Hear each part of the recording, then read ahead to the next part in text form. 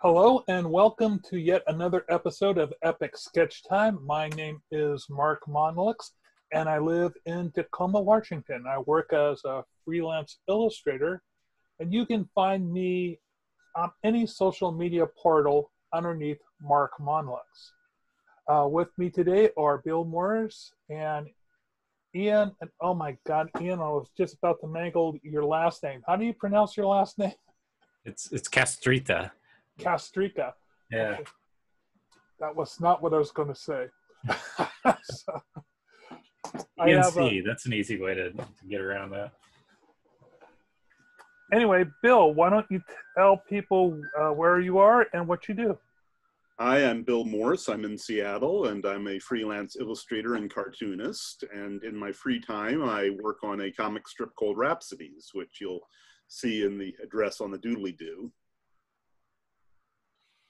Hey everybody, my name is Ian Castruita. Uh, uh, you can find my stuff at unfedartist.com. Uh, for all my social media, it's unfed art. And uh, yeah, I'm an illustrator, graphic designer, and cartoonist working out of Arizona.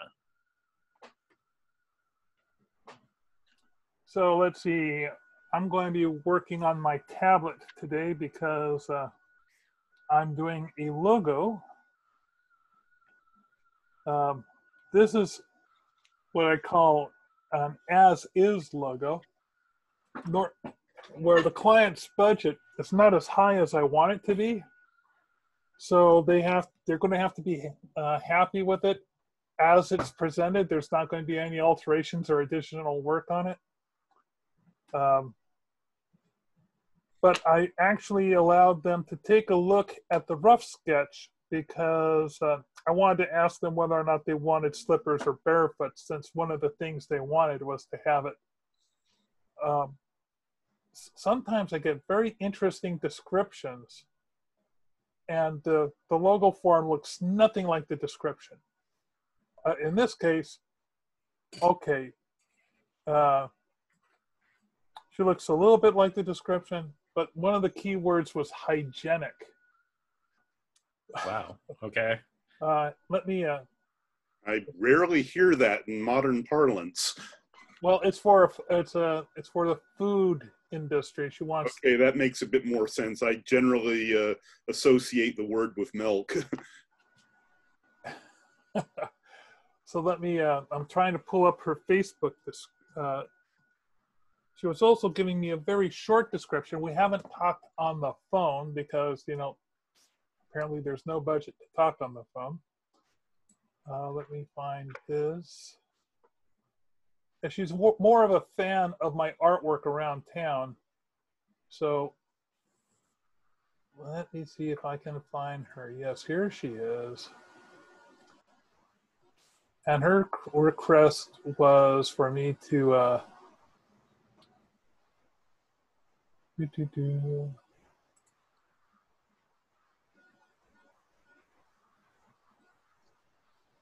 First, she asked for another uh, artist friend of mine, some last year, and uh, uh, let's see. She's drawing fruit this year and would like to find a cartoon that fits the fiber fairy. Uh, this would be used on uh, her labels and on a business site, and eventually on Facebook and she wants so she basically wanted a cartoon Ve- very very uh, let's see um, she was imagining a plump and funny cartoon fairy with funny wings. Does that help? Because i was trying to ask her describe. Uh, she also saying can you put some purple streaks in the in the hair? And then uh, then i was trying to get her to give me more details uh, long hair, no hat, a wand in her hand, a positive expression, that she's cheerful. She can also be dressed in hippie garb. She is promoting dried fruit, so she has to look sanitary and health conscious. Will that work? And I wrote back, hippie garb to me is bell bottoms and pleasant blouses with a headband. If that's not the look, let me know more with specific details. But she wrote back saying that that sounded just fine to her. So this is my rough sketch. Ah, A uh, very these the specs that I you listed made me think she was going for something a bit more Rubenesque, but yeah. I originally I was thinking Rubenesque, but when I was thinking of, uh. Uh, we were kind of going with uh, sort of like the '70s hippie chick vibe. mhm. and this is the basically what I felt comfortable drawing. So, but she liked it, so I'm going to be doing a final on it now. cool. So, what are you guys working on? Well, I'm working on a Sunday strip. I'm and I've been making pretty good progress on it. Just a second. Uh, I uh, need uh, to be let in to show it. Oh, my apologies. Let me fix that button.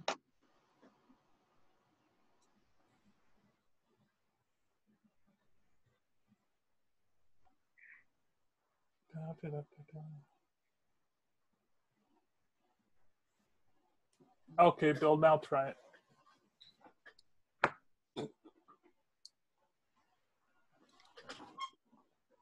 Okay, so here's where I am so far.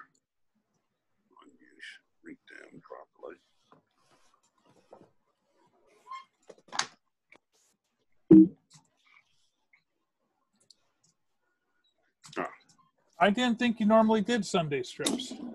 Generally, it's uh, it's when I have. Generally, when it's when I think of them, I've been wanting to try and do more. In this case, it's whenever I think I the story that I'm working on is not fitting into the uh, five week format. So, and I've been sort of been, and since the iPad has been doing wonders with my speed, they don't aren't quite as much of a time sink as they used to be. You just did a Sunday strip, right? Uh, I I could have sworn I saw one. Yeah, yes, yes, I did. Okay.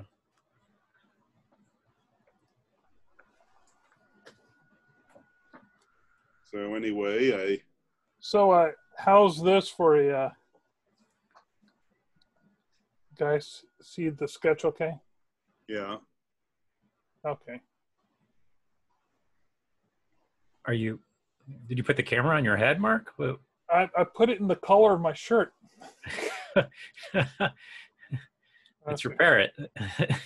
Ah. There we go. Yeah, you'll be able to see more of it than normal. At least it's better than the top of my head.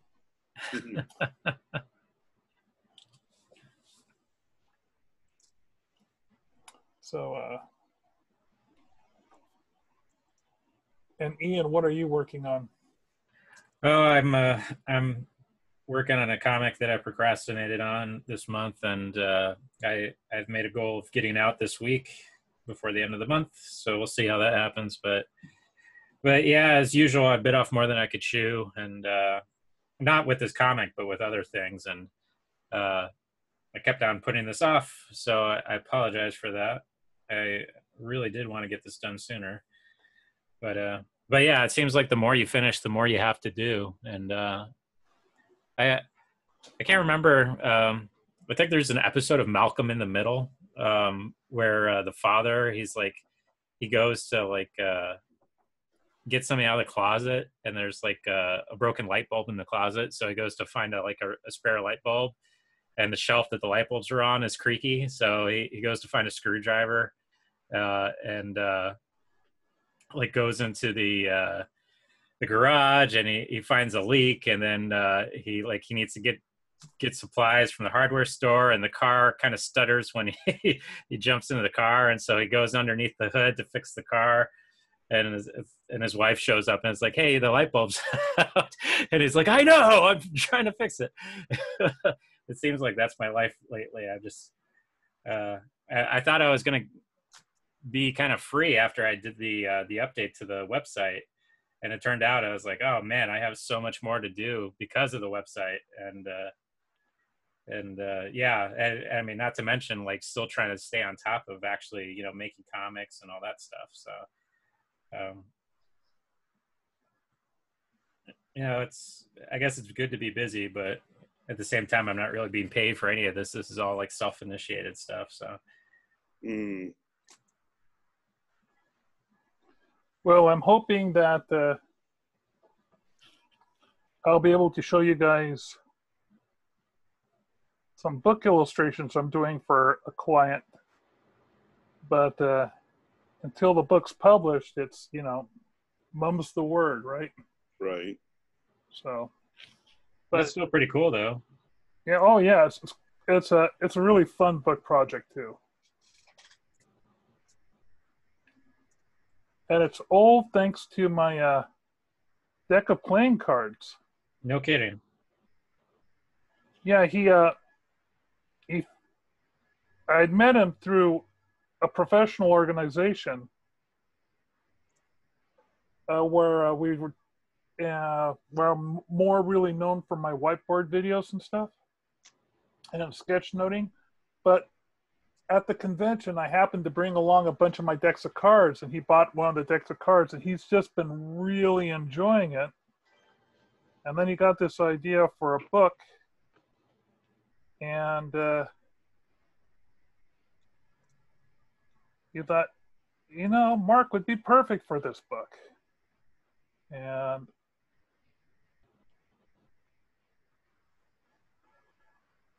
so just when I was getting almost done with this other project, um, a video project, which I thought was done, but which the client, you know, you would you would expect something to be done once the storyboard was over and you finish off all the files and you sent the files off to the videographer and you send them to her so that she can just, you know, rub, you know, basically stamp, put a um, an okay stamp on them, right? Mm. But she's seeing things that she wants to have change. And since we're not doing it through a video scribe, but through the videographer, she knows that we can do a little bit of a alterations. And uh,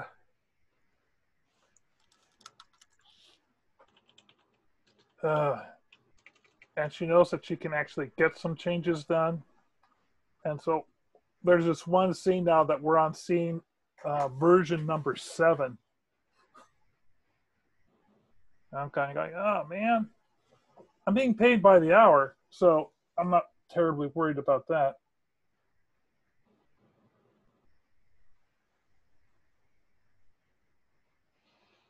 Do you generally take uh, hourly work? Oh, I've been doing it more and more. Really? Uh, but it's when I do hourly, it's a full rights buyout at 200. Okay. And uh, basically, I found that a lot of clients want to buy full rights, and if I just charge heavy to begin with, they don't mind. So they'll they'll just pay. You know, they'd rather have full rights buyout. I used to. I spent years and years negotiating on behalf of the client against myself saying okay he only really needs one time usage rights. He only needs this and this.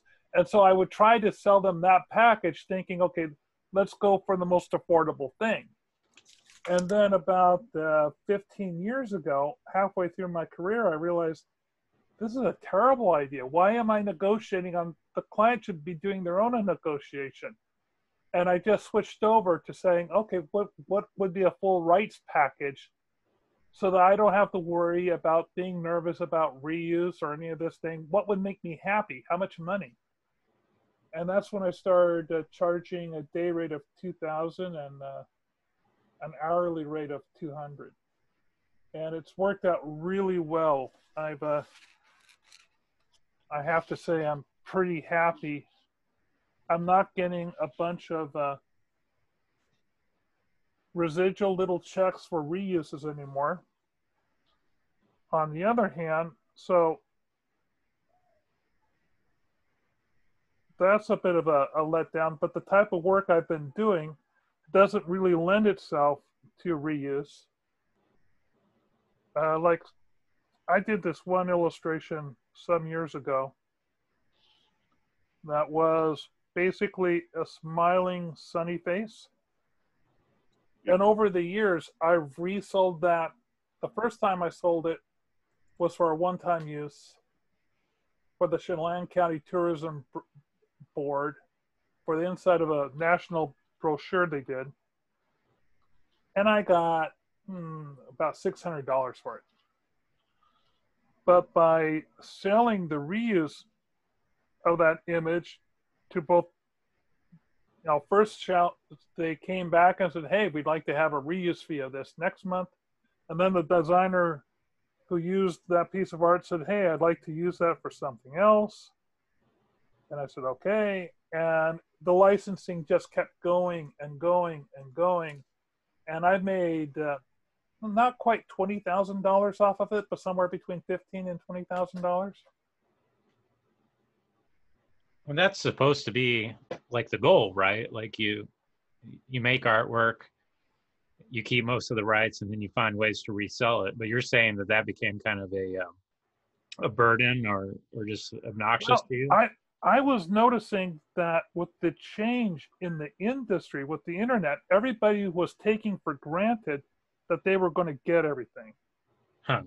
And I thought, you know, if they're just going to have that attitude from the get go, uh, why not just why not just put forward the uh, the budget for it initially? And uh, I was really surprised that the clients I was working with, nearly all of them were corporate level at that point, and uh, they didn't flinch. And so it just, yeah, it was an easy way. Now, I'm not saying that all my clients were that way, but the more, majority of them were enough that uh, you'll still get a client that'll. I love having a client just reel with sticker shock, and then so I can't pay that, and then you negotiate down rather than trying to negotiate up when the client says, "Oh, but I want to use it for this and this and this." They don't want they don't like the idea of having to pay more money in a negotiation, but they love the idea of paying less money in a negotiation. Yeah, that makes sense. And I just was angry with myself for not realizing that so many years for so many years. And it's because I had the typical artist mentality of, oh, I want to be a nice guy. And uh, you can be a nice guy in business. You just have to make a profit. Sure.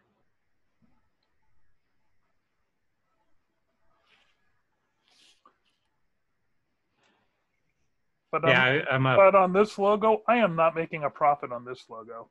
Are you losing money? Oh, I am so losing money on this logo. Yeah. I I am paying. she's not paying me nearly enough, but uh, sometimes you do jobs for sweet old ladies, mm-hmm. or you have a feeling about something that it's going to come back and uh, be beneficial to you later on somehow. Like this is a gal who's pretty heavy in the fine arts community in Tacoma. So, and my name is getting known more and more in this community as a person to go to. So if I can, now I don't want it to be uh, known as a person to be, go to to get a cheap logo. That's right. not it. But I also I was just kind of kind of weighing the thing of uh, I think the the positive on this will actually outweigh the negative. I know it sounds like I'm saying, "Oh, this is this will be good exposure for me," but it's not exposure. I'm gaining the exposure. It's sort of like uh,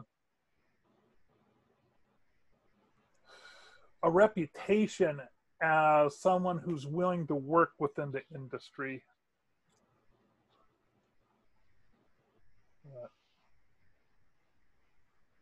Yeah, this is very unusual for me to take this. I almost said no to this project. Yeah, I still need to figure out my uh my whole uh sales persona or whatever. Like I as far as like my pricing goes, like I, I know what my expenses are and I know what my minimum rate should be. But um but yeah, like everybody and their grandma has been telling me to to charge flat rate, never charge hourly. It's like it, it it's been like this mantra that's been pushed at me for like the past couple years, I'd say, where everybody's like, "Why are you charging hourly? That's that's terrible."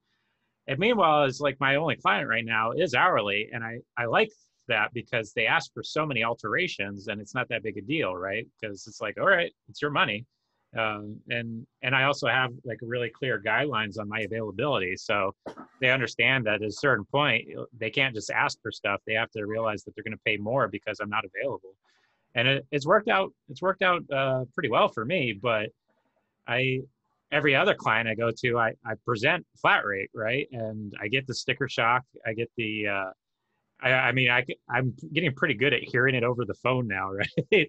this was like, oh, yeah, yeah, we'll, we'll contact you later after we talk to some other people. I was like, sure you will. but, but I, I actually wouldn't mind doing hourly just as long as I got a decent deposit, um, you know, on the front end. So, so uh, how much are you? How much are you charging on the hourly? Uh, so my minimum rate, uh, just like airing my laundry right now. But let's see, my my minimum rate right now. Uh, I'm I'm aiming for 150, but uh, but yeah, if they were to do a full rate, uh, full rights buyout like you, I, I'd probably just say, okay, well that's 200 but uh but now having listened to you i'd probably start at 200 and say well if you don't want to have full rights i can go down um but uh yeah my, my minimum rush rate is 300 so like if they're like oh we needed this yesterday it's like okay well if you want to pay me rush i'll lose some sleep but you know you'll be paying me well enough that i won't mind it um and it's this juggle act too, right? It's like, well, I have other clients. I can't just shove them under the door because you have a problem all of a sudden. So, uh, you know, if, if you're willing to, to, to pay more for the, uh, the convenience of getting this done quickly or whatever, you know, I'll do the rush. Uh, but yeah, I, I have the spreadsheet. It has all my expenses. It tells me, it tells me how much I should charge, uh, for retainers. And then I actually built out like additional spreadsheets based based on my my previous projects where I know like oh it takes me this long to do sketches and this long to do inking and if they want color uh, the flats take approximately this long and I can get that flat rate quote right and and so and so I you know I spit out that number and yeah the sticker shock so I I don't know I I would uh I think I, what I'm going to try to do is hit them with the hourly rate next time, but say, you know, it'll be this much deposit on the front end and see how that flies. Um, well, one of the things that I've been doing to, you know, I've charged a larger amount of money, right?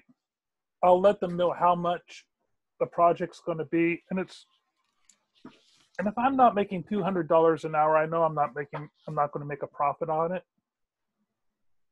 Um, one of the things I do is uh, to get the larger budgets for those people who have sticker shocks is uh, I explain that they I do I arrange payment plans for them. And that's been working out really well. And how do you figure that out? Like, because because there's always the risk that they just won't pay, right? There Ah, but here's the thing. there is the risk that they won't pay. But what you do is it's not, I'm going to put my camera back on top of my, it's falling out of my pocket. Ah. so I have, let's say I have a, a client and they're doing, I've, I had this one client and he was having me do, do a book illust- uh, doing started off with book illustrations and then it went into me actually designing the book for him. And uh, i was actually giving him when i started that project i was like so dead in the water i was i went with uh, only $150 an hour rather than $200 an hour For full right? Uh, yeah, because it was for a uh, a book. Well, act- Okay.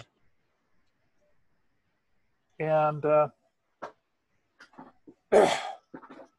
and they were the type of illustrations I did not mind giving away. They they were basically technical illustrations and side profiles of people with bad posture. I was never going to resell these books. I mean, these images again. Okay. So I didn't mind. Uh, but what I did was I had. Um, at first, we started off with 50% of the invoice would be paid on 30 day net, and the and the other remainder part would then be put onto a tab It's for the payment schedule. But initially, the first invoice, everything was 30 day net. The payment agreement is a secondary document. And if the client fails on the secondary document, you have the first document to fall back on. If they break the payment schedule contract, everything's immediately due. Plus, they have no rights to any of the work that you've that you've uh, done for them because they haven't paid for the licensing on it. Yeah. And so you have them sign a, uh,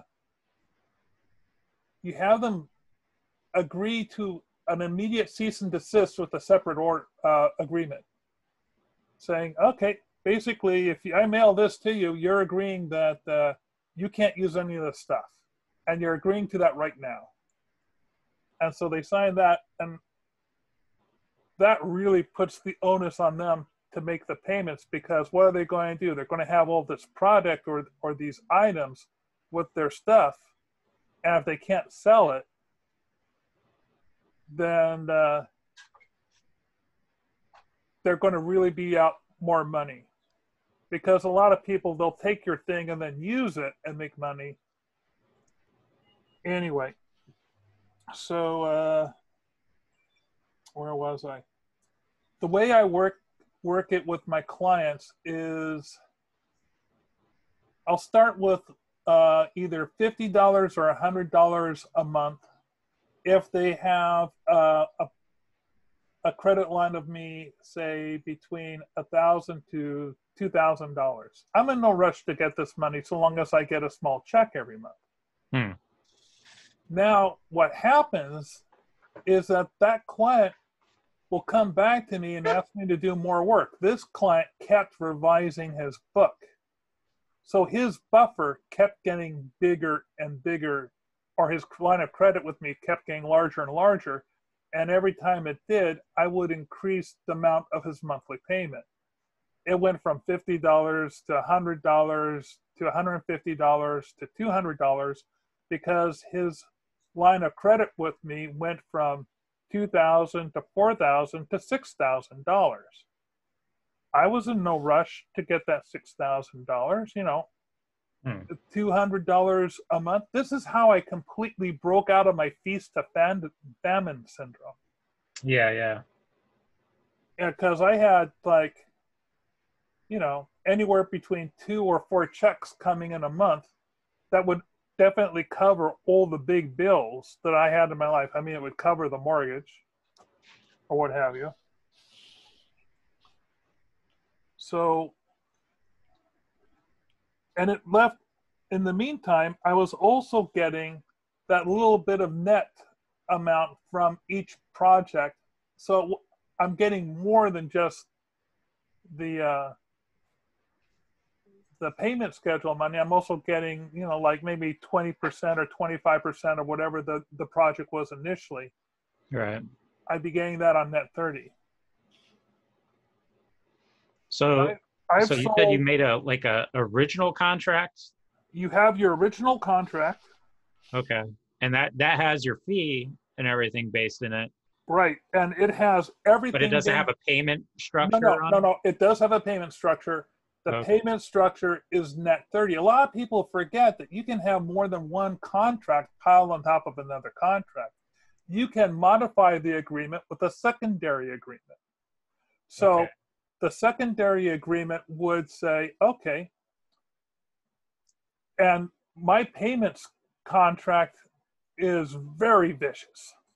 I mean, there's tremendous penalties if you're late. But the thing is, uh, one of the things in that contract is that all those payments would be paid automatically via the bank. And anyone can go into, like, you could go into your bank account and say, oh, write so and so a check on the first of every month. Okay.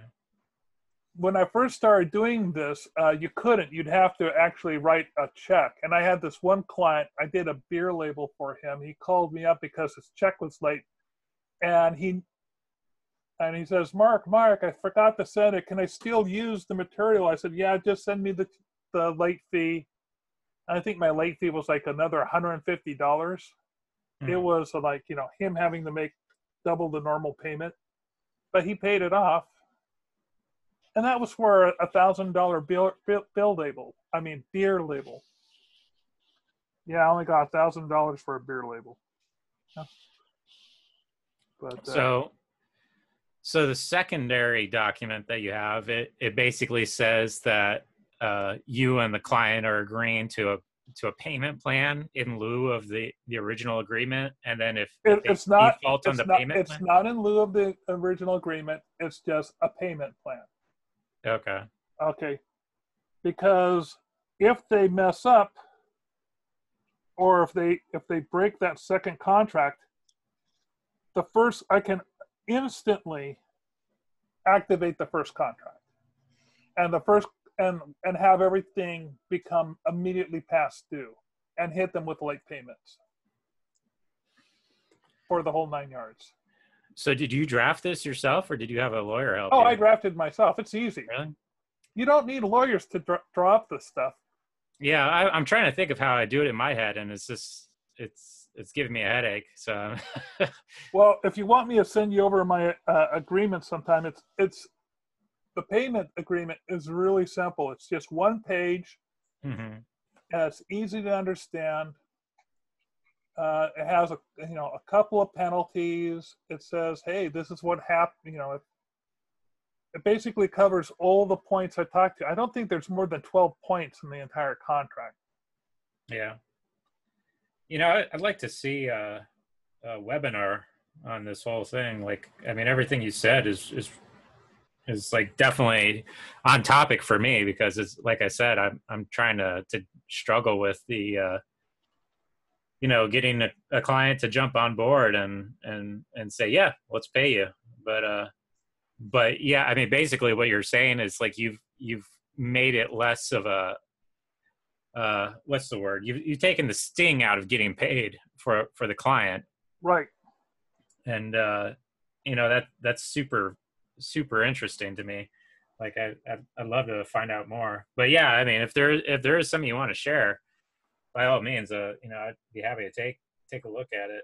Yeah, because I I had I had my original agreement um, that uh, Katie Lane from Work Made for Hire helped me with, and uh, and I was pretty happy with that. And then I uh, I did a, a legal audit of my business, and uh, the uh, the lawyer down here in Arizona was a, a mergers and uh, you know whatever corporation lawyer, and he uh, he he offered to you know take take some of the language but make it more uh, ironclad, if you will, you know, uh, like cut out uh, basically make it more legalese where where Katie was like nice and inviting and you're like oh I can understand this like the, the new contract is like it's like holy cow this is an intimidating document you know? But I was I was happy with it because you know I I don't really want to have problems. I I want the contract to take care of er- everything in the front so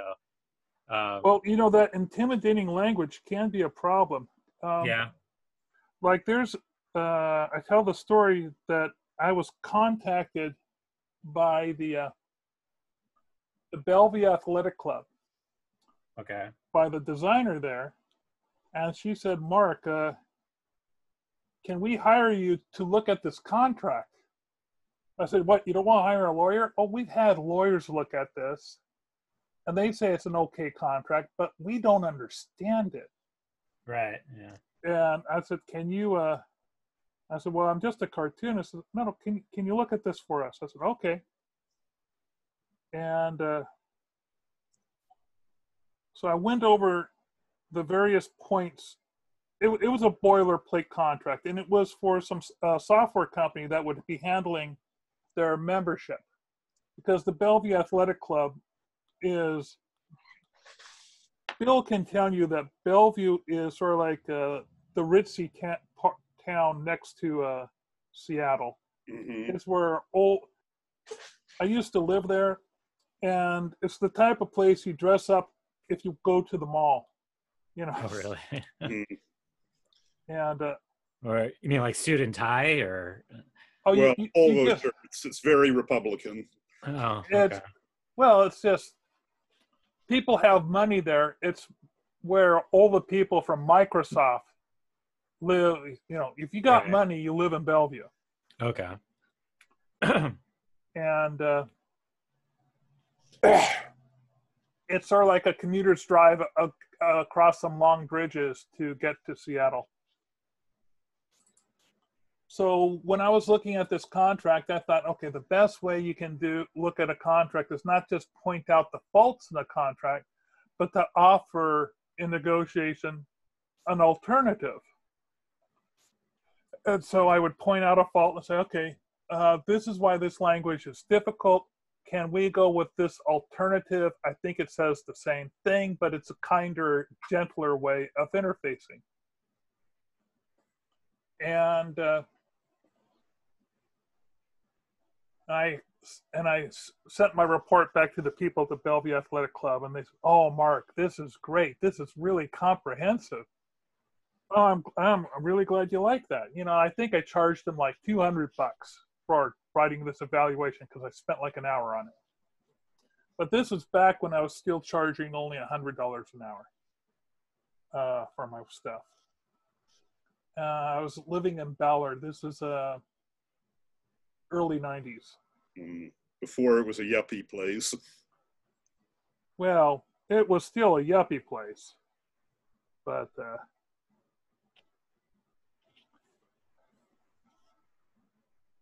let's see, what was I saying? Anyway, then they said, uh, Mark, we'd like to hire you again. I said, what, what for this time? And they said, well, I, it's not for illustration. We want you to negotiate this contract. I said, really? I said, yeah, what can you call these guys up and just talk it through and negotiate out these points? I said, sure, I'd be willing to do that. And I get on the horn with the the other people, and I walked through, and they agreed with all my points. And at the end of it, they said, "You know, we want to thank you." I said, "This is the other company, right? The one that had the contract." And I said, "Why is that?" They said, "Well, we are almost wanting to pay you for your time because you have made we've been having a hard time selling this contract to our customers. But with these changes we'll be able to use this this contract but we're going to be using this new language that you came up with. I went oh well that's great you know?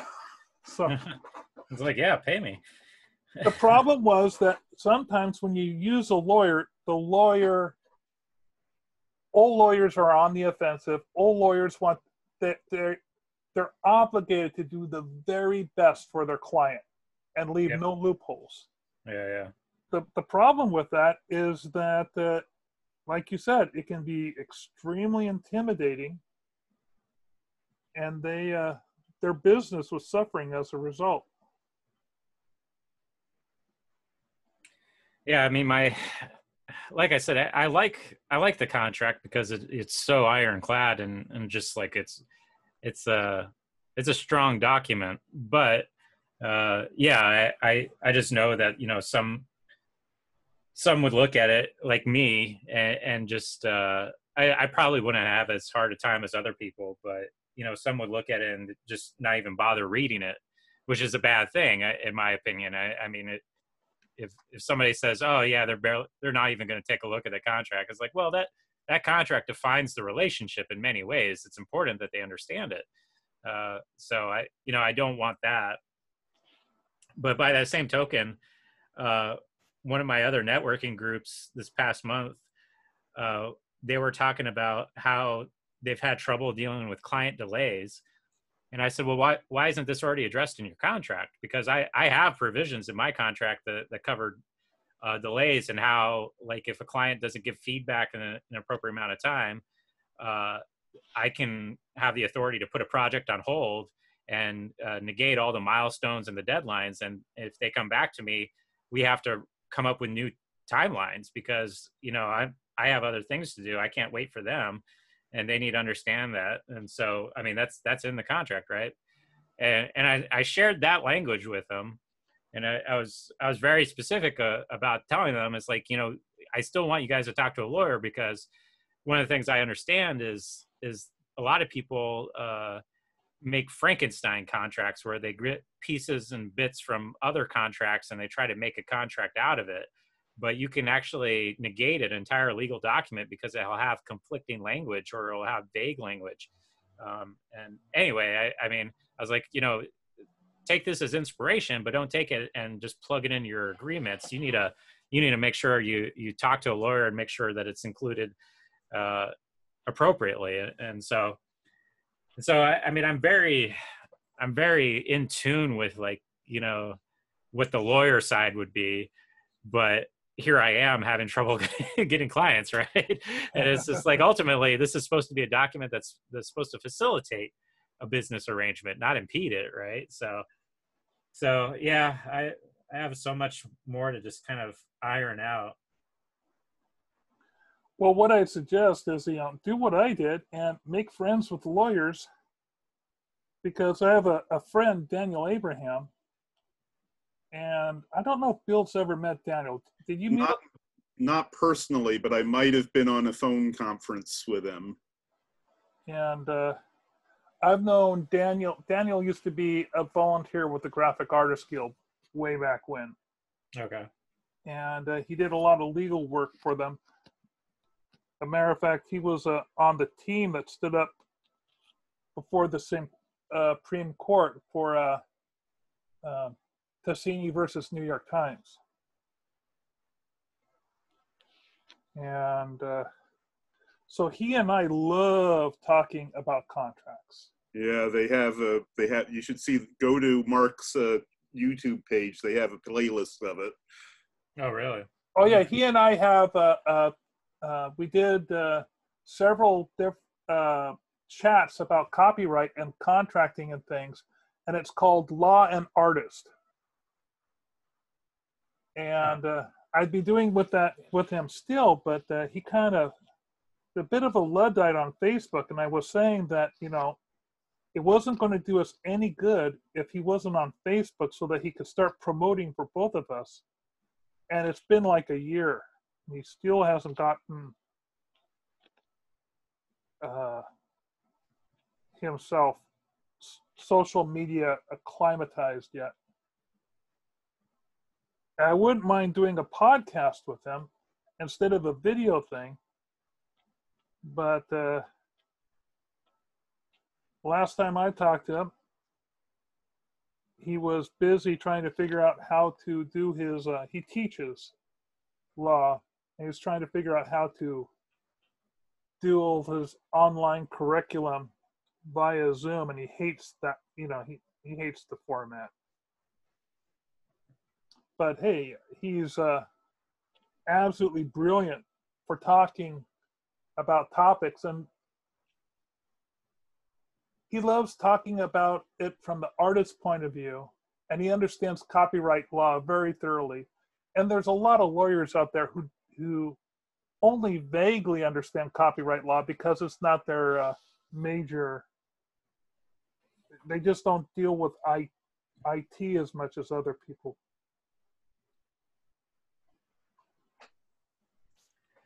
And I've yet to find another lawyer that's uh, as knowledgeable as he is. Hmm. Yeah, I've always, I've always just been wary of of like you know the legalese and everything, and uh, I I don't know I I assume that I reflect the the same kind of uh, hesitation other people have, where they look at a legal document and they think, oh, where's the gotcha? You know, where where is that that part that uh, if I don't understand well enough, I'm going to get screwed later on, and and, so yeah, I, I definitely I, I definitely like being well versed in contracts, but a lot of it is based, you know, mainly on anxiety, right? Like I, I got to cover my own ass, and I got to I got to be ready to to spot the the pitfalls and all that stuff. So it, it's not something I think of as fun, you know. It, and uh, and then lately, on the other side of things, like I, I see it as almost like a protection, right? Like a a thing that makes sure that if if things do go bad, I'm protected. You know, not not necessarily uh, the client, but you know, obviously it should protect both of us. But but it seems like that's when you get those boilerplates and things like that. It seems like they're always very one sided, right? And, and in some ways, I look at my own contract. I'm like, you know, this this does probably a lot more for me than other clients are willing to let happen. But but I say that based on my very limited experience. Um, my I I had a uh, a potential project with a university, and uh, and it was only r- recently that I found out from somebody in the uh, uh, the industry that universities are, are just really difficult to work with. Um, but but I was optimistic at the time, and then uh, they took a look at my my agreement, and they, they they had the back and forth where they wanted to change this and that, and and it took it took longer than I would have liked to to get it done and I thought it was all wrapped up. And then they came back to me and it's like, oh, by the way, we have a master contract that your your agreement has to also fall under. Uh, so here it is. You can take a look at it and let me know if you have any questions. And this thing was just a monster that would have completely negated my contract. Like I, w- I was signing over like intellectual property rights, uh, like all of mine, not not just the ones that I would develop under the project, but the ones that I had, you know, from before and everything. Like I was giving free license to all of that trade, uh, or what's the word? Um, uh, trade craft. I can't I can't remember the word, but uh, trade secrets. Excuse me. Like just all of that stuff. And then I was like, well, you know, this is basically a work for hire agreement, but I haven't been negotiating with them under work for hire terms. So so there I was, and I was like, well, I I could do this, but I'd have to charge them like twice as much because they're they're taking everything. I don't even have the right to put it on my portfolio or right. or, or say that they're my client. And I was like, you know, I need to charge you more for this. And and by then I was like, we, we should have gotten started on this project a couple days ago. You know, I I'm not prepared to to take on you know further negotiations for this contract because basically I have to double the price on you. So I was, I just stepped away. Uh, I felt super bad about it too, but, but yeah, that's my experience. Is like you know you get you get their contract and you're getting plowed under, and and really it's just like you you have to start with your contract and kind of work back from there kind of kind of the same way as it is with negotiating the rate right like you don't start low and then work your way high uh, you start high and then work your way low uh, and and it's kind of the same with the contract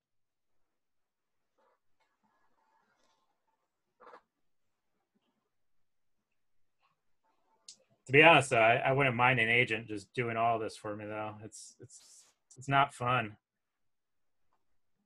Yeah, I used to have an art rep named Susan Trimpey, and she was really good.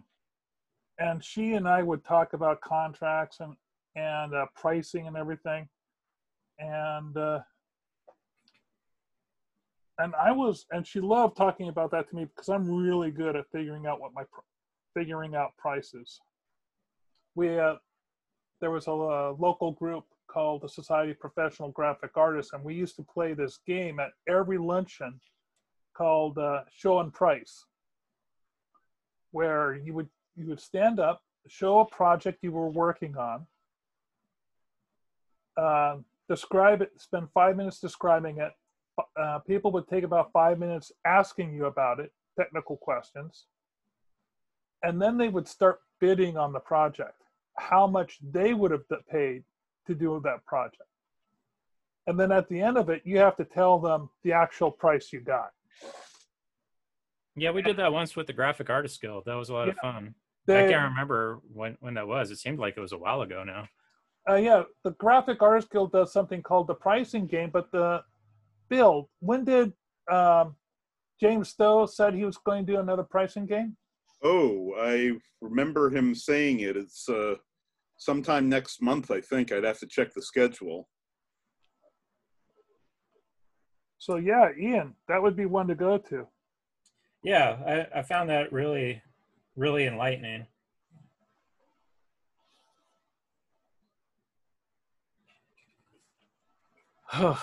But oh, yeah, well. I used to go. I loved that group. We would do that every single month. It was the whole re. One of the reasons I went to that uh, the SBJ.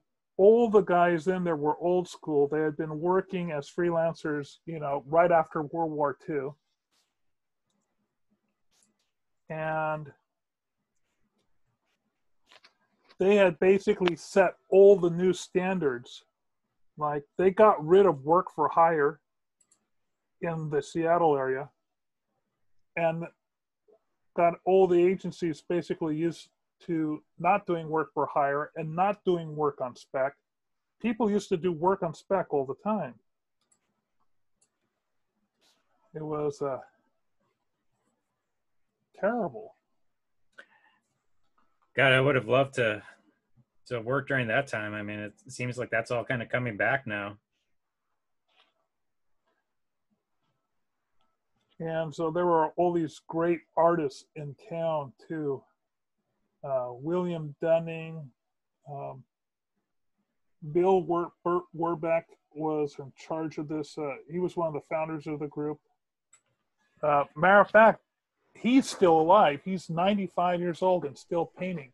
Uh, he's the guy who gave you the uh, gave you that book. Yeah, here it is. Uh, he uh, wrote his entire uh, life history, and it includes a compilation of all of his professional and uh, fine artwork. So, really, uh, he did all the uh, 1962 World Fair stuff. There's a local restaurant chain here called uh, Ivar's Mhm. and he did all of Ivar's stuff. Oh, here's a page of some of his logo work. Ugh. Oh, I'll see if I can find some of his illustration work. His illustration work has this very, it's a very mod 60s look to it. Let's see if I can find. Uh,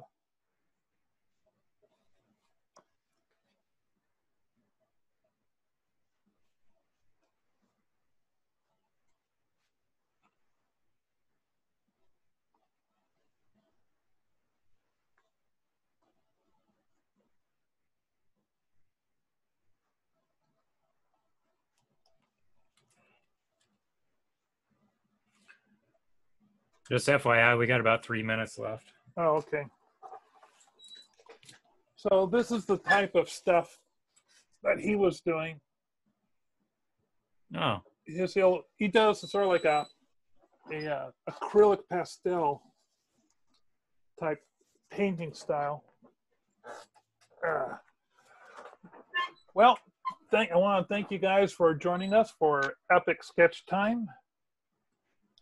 You can, uh, if you like this video and what you heard, and if you'd like to participate and actually do uh, some more screen sharing, we did very little screen sharing this week. Mhm. Uh, you can join us every uh, Tuesday at 4:30. Get on our mailing list. Follow the link in the doobly doo down below. You can also follow us on uh, Epic Sketch Time on Facebook. And uh, we look forward to seeing you. Thank Yep. you, Ian. Thank you, Bill. Thanks, guys. See you next time. Yep, have a good one.